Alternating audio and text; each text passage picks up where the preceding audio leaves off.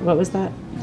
That I've had a ton of people asking me every day what's going on with that guy that's selling to Portugal. I mean, it's it's crazy, man. Crazy.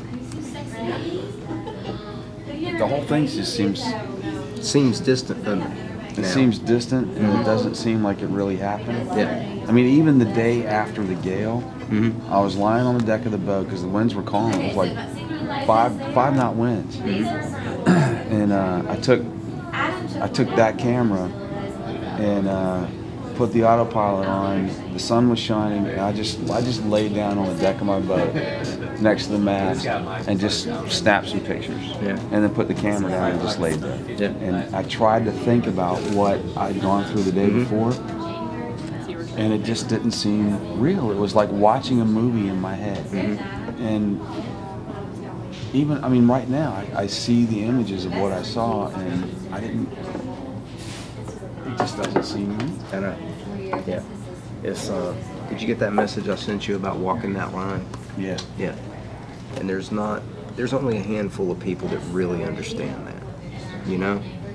And up to that point, I mean, skydiving and all those things, I mean, that's all one thing, you know. But you you had never walked that line until that day.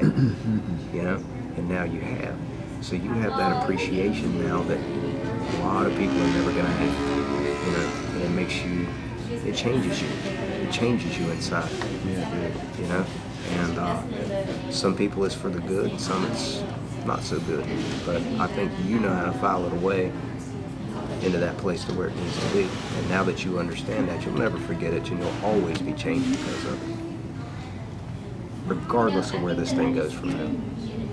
You know? Yeah. It's true, man. I'm just, I'm proud of you. Thank you. I am proud of you. I really am.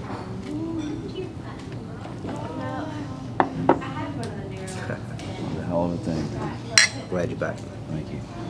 It's glad to be back.